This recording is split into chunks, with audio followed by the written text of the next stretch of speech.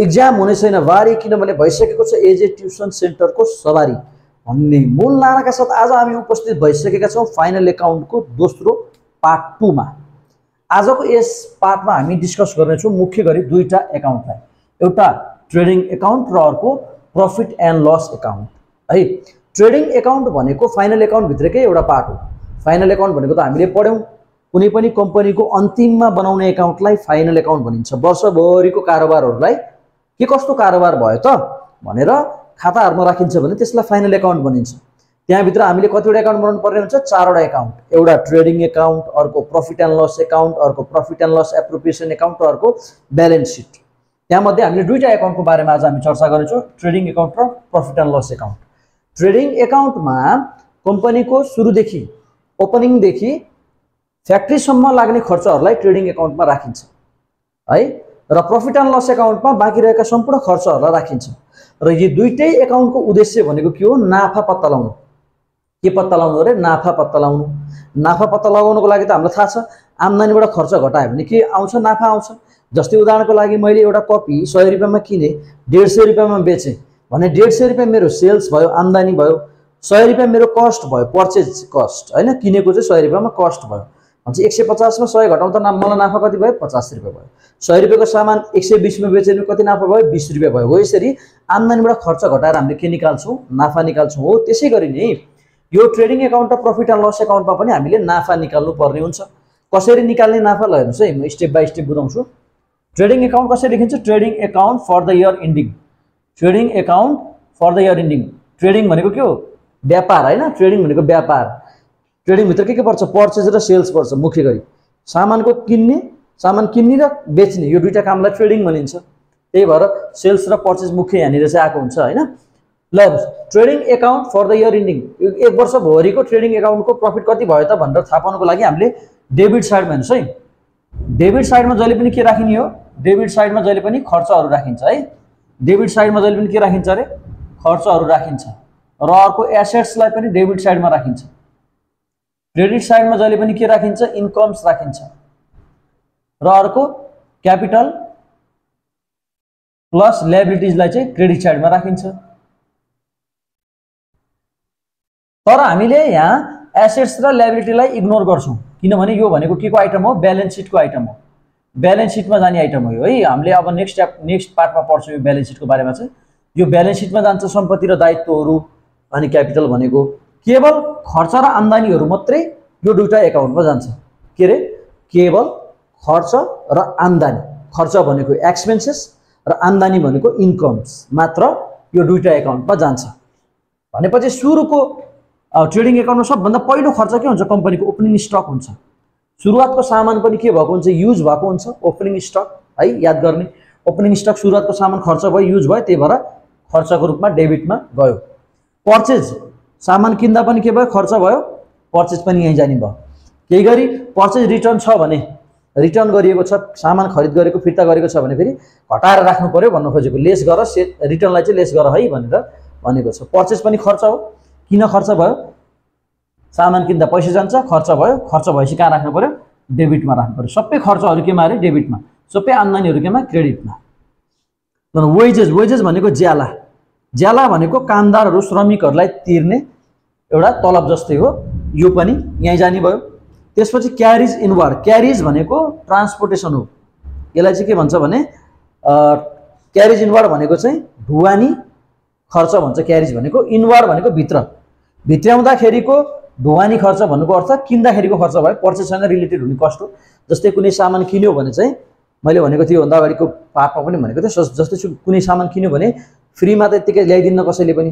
एउटा ट्रकलाई ट्रक ड्राइभरलाई चाहिँ पैसा दिएर होइन भन्सार शुल्क चाहिँ अब उता चाहिँ उता चाहिँ के अरे सरकारलाई तिरेर कस्टम ड्युटी तिरेर त्यसपछि ट्रक ड्राइभरलाई चाहिँ क्यारिजको पैसा दिएर ट्रान्सपोर्टेसनको पैसा दिएर ल्याउनुपर्छ। यो पनि खर्चै भयो कम्पनीको है?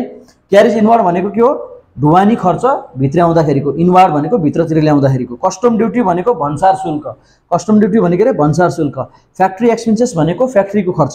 यसरी सुरुवातको स्टकदेखि खरिद गर्ने अनि त्यसपछि ज्यालाहरू लगानी ज्यालाहरूमा चाहिँ हुन्छ नि पैसा दिने त्यसपछि ढुवानी खर्च त्यसपछि अब भन्सार शुल्क त्यसपछि फ्याक्ट्रीको खर्च लगायत सम्पूर्ण खर्चहरू डेबिट साइडमा राखिन्छ। सबै खर्चहरू के गर्ने हो? डेबिट गर्ने हो। क्रेडिट साइडमा हामीले दुईवटा कुरा मात्रै राख्छौँ। एउटा सेल्स सेल्स भनेको आम्दानी हो किनभने सेल्स गर्दाखेरि बेच्दाखेरि के हुन्छ? पैसा आउँछ। पैसा आएपछि के भयो? आम्दानी भयो त्यही भएर जहिले पनि आम्दानी के गरिन्छ र? डेबिट र क्रेडिटको रुल्स अनुसार क्रेडिट गरिन्छ। यसलाई घोक्नु पऱ्यो है कन्ट पार्नु पऱ्यो के गरिन्छ भन्ने कुरा। सेल्सलाई के गर्नु पऱ्यो?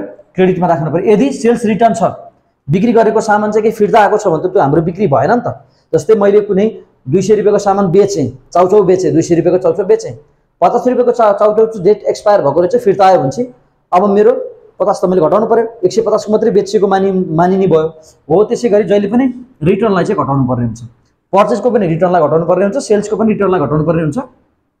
त्यसपछि अर्को भनेको क्लोजिङ स्टक पनि आम्दानी हो। कसरी क्लोजिङ स्टक आम्दानी भयो? भयो भन्दाखेरि चाहिँ क्लोजिङ स्टक भनेको चाहिँ बचेको सामान हो। ओपनिङ स्टक भनेको सुरुमा हामीसँग भएको सामान। सुरुमा हामीसँग भएको सामान त युज भयो त्यही भएर खर्च भयो। क्लोजिङ स्टक बचेको सामान भनेको युज भएन। त्यही भएर त्यो इन्कम बच्यो आम्दानी जस्तो देखिएको भएर क्लोजिङ स्टकलाई जहिले पनि क्रेडिटमा राखिन्छ। है? भनेपछि ट्रेडिङ एकाउन्टमा जहिले पनि जुनसुकै हिसाबमा यही कुरा हुन्छ। डेबिटमा opening stock purchase wages carriage inward custom duty factory expenses.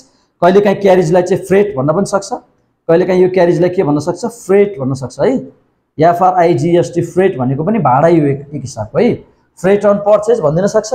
हो फ्रेट कस्टम ड्युटी यस्तो सामानको ओपनिङ स्टकदेखि फ्याक्ट्रीसम्मको सम्पूर्ण खर्चहरू कहाँ जान्छ। ट्रेडिङ एकाउन्टको डेबिटमा जान्छ। क्रेडिटमा चाहिँ सेल्स र क्लोजिङ स्टक मात्रै जाँदो रहेछ। अब सेल्स र क्लोजिङ स्टक बचेको सामान र बिक्री भनेको आम्दानी भयो यो आम्दानीबाट। यो आम्दानीबाट भनेको दुइटालाई जोडेर क्रेडिट टोटल कति हुन्छ? टोटल क्रेडिटबाट यो खर्चहरू। ओपनिङ स्टक कति भयो पर्चेसमा कति खर्च भयो ज्यालामा कति खर्च भयो धुवानी खर्चमा कति खर्च भयो भन्सारमा कति खर्च भयो फ्याक्ट्रीमा कति खर्च भयो सबै खर्चहरू घटाइसकेपछि भनेको टोटल क्रेडिटबाट टोटल डेबिट घटायो भने के आउँछ? यही यो ग्रस प्रफिट आउँछ। ग्रस प्रफिट भनेको के हो? ग्रस नाफा। ग्रस नाफा भनेको है। एक प्रकारको नाफै हो यो तर नेट नाफा चाहिँ होइन। नेट नाफा त हाम्रो त्यहाँ पछि आउँछ। यो चाहिँ साला खाला यति जति ग्रसमा चाहिँ नाफा भयो भनेर चाहिँ आएको छ है। हो यसरी यो नाफा निकालिसकेपछि फ्याक्ट्रीसम्मको खर्च राखेर यहाँ नाफा निकालिन्छ। त्यसपछि फ्याक्ट्रीसम्मको खर्चले मात्र त मान्छ र मान्दैन नि त। फ्याक्ट्री पछि अफिसको खर्चहरू हुन्छ। त्यसपछि बेच्दाखेरि लाग्ने खर्चहरू हुन्छ जस्तै विज्ञापन गर्नु पऱ्यो यताउता अफिसमा स्टाफ राख्नु पऱ्यो स्यालेरी दिनु पऱ्यो यताउता अन्य पनि थुप्रै खर्चहरू हुन्छ नि। हो त्यो खर्चहरू पनि त कटाउनु पऱ्यो नाफा निकाल्नको लागि त। किनभने आम्दानीबाट खर्च घटायो भने नाफा आउँछ। हामीलाई थाहा छ भनेपछि अब यो नाफा हाम्रो नेट नाफा होइन। है कम्पनीको नेट नाफा पत्ता लगाउनु पर्ने छ। किन पत्ता लगाउनु पर्छ कम्पनीको नेट नाफा? किन भन्दा चाहिँ कम्पनीले नाफा गरेको चाहिँ घाटा गरेको थाहा पाउनु पऱ्यो अनि नाफा गरेको छ भने बल्ल सरकारलाई पनि कर तिर्ने अनि साहुलाई पनि। डिभिडेन्ड दिने लाभांश दिने होइन? त्यो गर्न सकिन्छ। अब नाफै गरेको छैन घाटामा घाटामा गइरहेको छ भने सरकारलाई कर तिर्नुपर्छ पर्दैन। साहुहरूलाई डिभिडेन्ड दिनुपर्छ खासै पर्दैन है? त्यही भएर कम्पनी नाफामा छ कि घाटामा छ पहिला पत्ता लगाउनु पर्ने हुन्छ कि? त्यसकै लागि चाहिँ यो ट्रेडिङ एकाउन्ट र प्रफिट एन्ड लस एकाउन्ट बनाउने हो। यहाँनिर एक लेभलसम्मको नाफा पत्ता लाग्यो। अब यो डेबिटमा जुन नाफाको ब्यालेन्स निक्लेको छ यसलाई लिएर कता लैजानु पऱ्यो क्रेडिटमा लैजानु पऱ्यो है? त्यो चाहिँ ब्यालेन्स सिडी सिडी भनेको छ त्यो चाहिँ क्यारेट डाउन हो सिडीको अर्थ। भनेको ब्यालेन्स हो। ब्रड डाउनको अर्थ त्यो ब्यालेन्सलाई यता ब्राउट गरियो यता ल्याइयो भनेको है। ब्रड डाउन भनेको त्यो अब प्रफिट एन्ड लस एकाउन्टमा जुन ट्रेडिङ एकाउन्टको ग्रस प्रफिटलाई राख्नु पऱ्यो क्रेडिटमा त्यसपछि अन्य इन्कमहरू पनि क्रेडिटमा राख्नु पऱ्यो किनभने डेबिट क्रेडिटको रुल्स अनुसार इन्कम्सहरू त के हुन्छ? क्रेडिट हुन्छ। अनि सबै इन्कमहरू क्रेडिटमा राख्नु पऱ्यो जस्तै कमिसन रिसिभ्ड हुनसक्छ। कमिसन क्रेडिटमा दियो भने पनि त्यो इन्कम नै हो। किनभने क्रेडिटमा के दिन्छ? इन्कम दिन्छ है। इन्ट्रेस्ट अन इन्भेस्टमेन्ट इन्ट्रेस्ट भनेको ब्याज हो। ब्याज भनेको धेरै जसो प्रायः खर्चै हुन्छ तर इन्भेस्टमेन्ट भनेको के हो? लगानी लगानीमा ब्याज भनेको अर्थ लगानी भनेको कसको हो? लगानी भनेको त हाम्रो हो। हामीले चाहिँ लगानी गरेको हो। किनभने यो हामीले सबै खाताहरू के बनेर के सोचेर गर्छौँ? हामी आफूलाई कम्पनीको मालिक सोचेर हामी आफू कम्पनी सोचेर गर्छौँ। भनेपछि यो लगानीलाई हामीले के सोच्नु पऱ्यो हामीले गरेको लगानी भन्ने सोच्नु पऱ्यो लगानीमा ब्याज त हामीले गरेको लगानीमा त के हुन्छ? ब्याज त आउँछ। इन्कम भयो। Reserve for bad debts bad debts भनेको के खराब डेप खराब डेप्टर भनेको है खराब डेप्टर्स भनेको कसैलाई उधारोमा सामान बेचियो थियो तर त्यो उधारको जसलाई सामान बेच्यो त्यो उधारको पैसा नउठ्ने भयो भने त्यसलाई भन्छ ब्याड डेप्ट्स है ब्याड डेप्ट ब्याड डेप्टर पनि भन्छ खराब डेप्टर डेप्टर भनेको पैसा उठाउनु पर्ने ब्याड डेप्टर भनेको ब्याड डेप्ट भनेको के खराब डेप्टर भनेको अर्थ तिनीहरूले पैसा नदिने भयो त्यस्तोको लागि रिजर्भ छुट्याएको थियो कहिलेकाहीँ उनीहरूले पैसा दिन पनि सक्छ त्यस्तो अवस्थामा क्रेडिट हुनसक्छ रिजर्भ फर ब्याड डेप्ट है धेरै जसो रिजर्भ फर ब्याड डेप्ट चाहिँ के हुन्छ? प्रोभिजन फर ब्याड डेप्ट अथवा ब्याड डेप्ट चाहिँ के हुन्छ? खर्चै हुन्छ। तर के हुन्छ? तर कहिलेकाहीँ चाहिँ तर कहिलेकाहीँ चाहिँ यहाँ एउटा म आइटम थपिदिन्छु। टु ब्याड डेप्स ब्याड डेप्ट अथवा प्रोभिजन फर फर ब्याड डेप्ट फर ब्याड डेप्ट्स अथवा ब्याड डेप्ट्स मात्रै पनि हुनसक्छ। यो चाहिँ के हो? खर्च हो। तर क्रेडिटमा दिएको छ भने आम्दानी हो। To provision for tax. यो एउटा मैले थपिदिएको आइटम यसमा है? अनि लास्टमा चाहिँ आउँछ to net profit C D carry down. है? जस्तै हेर्नुहोस् है। यहाँ मैले भनिदिइहाल्छु। ब्याड डेट भनेको के हो? खर्च हो। ब्याड डेट भनेको नउठ्ने पैसा खर्च भन्दा पनि अझै लस हो। घाटा हो। होइन लस भनेको के हो? घाटा। घाटालाई जहिले पनि डेबिट गर्नुपर्छ है। लसेस अनि त्यसपछि एक्सपेन्सेस सबै के हो? डेबिट गर्नुपर्छ। इन्कम्स अथवा कहिले काहीँ यसलाई गेन्स पनि भन्न सक्छ। गेन्स चाहिँ के हुन्छ? क्रेडिट हुन्छ। है? घाटा भयो अथवा खर्च भयो भने के गर्नुपर्छ? डेबिट गर्नुपर्छ। चाहिँ ब्याड डेट भनेको नउठ्ने पैसा। नउठ्ने पैसा। है ब्याड डेट भनेको के अरे? नउठ्ने पैसा। उधारोमा दिएको थियो पैसा उठेन भने। त्यस्तो अवस्थामा ब्याड डेट के हो? के हो? भन्दाखेरि चाहिँ खर्च हो अथवा लस हो त्यही भएर डेबिट गर्नु पऱ्यो तर कहिलेकाहीँ के हुनसक्छ? उठ्दैन भनेर रिजर्भ गरेर छुट्याएर राख्यो तर दिन पनि सक्छ नि त्यस्तो कुनै बेला दिन पनि सक्छ नि। नउठ्ने भनेको पैसा नि उठ्न सक्छ नि। हो त्यस्तो बेला फेरि उठ्यो भने फेरि के हुन्छ? क्रेडिटमा राखिदिन सक्छ क्वेसनले त्यो अवस्थामा चाहिँ फेरि इन्कम हुनसक्छ है। त्यही भएर क्रेडिटमा राख्यो भने इन्कम हुन्छ कि? यही कमिसन यदि डेबिटमा राख्यो भने खर्च हुन्छ। क्रेडिटमा राख्यो भने इन्कम हुन्छ। यही इन्ट्रेस्ट यदि डेबिटमा छ इन्ट्रेस्ट मात्रै भनेर दिएको छ भने खर्च हुन्छ। तर क्रेडिटमा दिएको छ भने आम्दानी हुन्छ। यही रेन्ट रेन्ट भनेको भाडा। भाडा त प्रायः तिर्नुपर्छ खर्च हो। तर यही रेन्ट भाडा भनेर चाहिँ यदि क्रेडिट साइडमा दियो भने फेरि के हुन्छ त्यो? भाडा आफूले पाएको रहेछ भन्ने हुन्छ। के त कम्पनीले पनि आफ्नो कुनै कोठा चाहिँ भाडामा लगाएको हुनसक्छ। त्यसको भाडा त उठ्न उठ्छ नि त आम्दानी हो नि त त्यो त। हो त्यसरी बुझ्नु पऱ्यो। है क्रेडिट साइडमा दिएको चिज के हो? आम्दानी र क्यापिटल र लाइबिलिटी हुन्छ। हामीले यहाँ के छुट्याउनु पऱ्यो? आम्दानीलाई छुट्याउनु पऱ्यो। क्यापिटल र लाइबिलिटीलाई त हामीले छुट्याइसक्यौँ। क्यापिटल भनेको त। अब पुँजी भयो सेयर क्यापिटल लाइबिलिटी भनेको तिर्नुपर्ने लोनहरू आउटस्ट्यान्डिङहरू ड्युहरू यस्तो कुराहरू हो। त्यो बाहेक अन्य कुराहरू के हो? आम्दानी हो। भनेपछि इन्कम्स हो। इन्कम्स भनेको आफूले प्राप्त गर्ने चिज नाफा निकाल्नको लागि इन्कमलाई पनि जोड्नु पऱ्यो। होइन? सबै आम्दानीमा चाहिँ खर्च घटाएपछि बल्ल नाफा हुने हो नि त। त्यही भएर इन्ट्रेस्ट अन इन्भेस्टमेन्ट यो चाहिँ के हुनसक्छ? आम्दानी हुनसक्छ। अनि यो इन्ट्रेस्ट अन इन्भेस्टमेन्ट आम्दानी हो है? रिजर्भ फर ब्याड डेट यदि क्रेडिटमा दिएको छ भने यो आम्दानी हो। रिसिप्ड अथवा गेन्स भनेर केही चिज दिएको छ। जस्तै इन्ट्रेस्ट रिसिप्ट कमिसन रिसिप्ट होइन? जेसुकै रिसिप्ट हुनसक्छ। रिसिप्ट भनेर दियो भने के हो त्यो? आम्दानी हो। आम्दानीलाई चाहिँ हामीले केमा राख्नु पऱ्यो? क्रेडिटमा राख्नु पऱ्यो है? अब डेबिटमा के राख्ने? स्यालेरी राख्ने। स्यालेरी भनेको के हो? स्टाफलाई दिने स्यालेरी भयो होइन? अफिसको खर्च हो। अनि रेन्ट भनेको भाडा। भाडा पनि तिर्ने कुरा हो खर्च भयो अब कति बेला लाग्दाखेरि सर भाडा त यो त भाडा मात्रै भनेपछि त कसरी छुट्याउनु त भन्ने लाग्ला। भाडा मात्रै भन्यो भने बुझ्ने त्यो तिरिसकेको भाडा रहेछ भन्ने कुरो बुझ्ने है? स्यालेरी मात्रै भन्यो भने के हो त्यो? तिरेको स्यालेरी रहेछ भन्ने बुझ्ने। स्टेसनरी मात्रै भनेको भनेको के हो? स्टेसनरी भन्नुको अर्थ स्टेसनरीको सामान किनेर ल्याएको रहेछ भन्ने बुझ्ने है? स्टेसनरीको सामान भनेको जस्तै मार्करहरू पेनहरू पेन्सिलहरू स्केलहरू यस्तै किनेर ल्याएको हुन्छ। त्यो पनि एउटा सामान्य जनरल एक्सपेन्सेसभित्र पर्ने कुरा हो।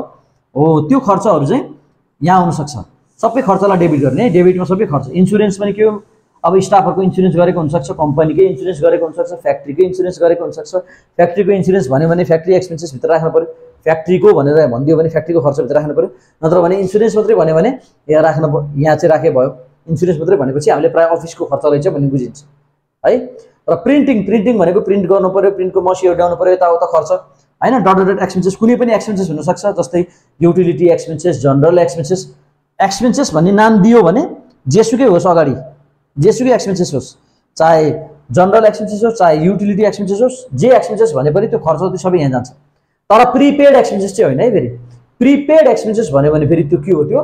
सम्पत्ति हो। योभन्दा अगाडिको भिडियोमा मैले भनेको थिएँ प्रिपेड एक्सपेन्सेस भनेको के हो अरे सम्पत्ति हो। खर्च भइसकेको छैन पछि पछिको हुने खर्च अहिले तिरिदियो भने त्यसलाई प्रिपेड एक्सपेन्सेस भन्छ। त्यो चाहिँ खर्च होइन। त्यो बाहेकको अन्य जति पनि एक्सपेन्सेस नामको चाहिँ चिजहरू हुन्छ त्यो सबै यहाँनिर जाने भयो। इन्ट्रेस्ट अन डिभेन्चर डिभेन्चर भनेको लोन हो। लोनमा लाग्ने इन्ट्रेस्ट ब्याज भनेको के हो? खर्च हो। यहीँ जाने भयो प्रिपेड एक्सपेन्सेस एक्सपायर्ड ल प्रिपेड एक्सपेन्सेस भने तर एक्सपायर्ड भनिदियो भने बल्ल खर्च भयो। प्रिपेड एक्सपेन्सेस चाहिँ जहिले पनि के हो? सम्पत्ति हो। तर प्रिपेड एक्सपेन्सेस एक्सपायर्ड भन्यो भने के हो? त्यो खर्च हो। त्यसलाई पनि डेबिटमा राख्नु पऱ्यो। प्रोभिजन फर ब्याड डेब्ट्स भनेर हामीलाई चाहिँ एडिसनल इन्फर्मेसन दिएको हुन्छ। त्यो पनि के हो? यदि डेबिटमा दियो भने पनि त्यो पनि के हो? खर्च हो। अनि प्रोभिजन फर ट्याक्स ट्याक्सको लागि छुट्याएको पैसा त्यो पनि के हिसाबको खर्चै हो। त्यही भएर हामीले डेबिटमा राख्नु पऱ्यो ट्याक्सको लागि छुट्याएपछि बल्ल नेट प्रफिट आउँदैन नि त होइन? त्यही भएर नेट प्रफिट अब यसरी यो सबै चाहिँ के हुन्छ? सबै कुराहरू आम्दानीबाट सबै खर्चहरू घटाएपछि नेट प्रफिट आउँछ।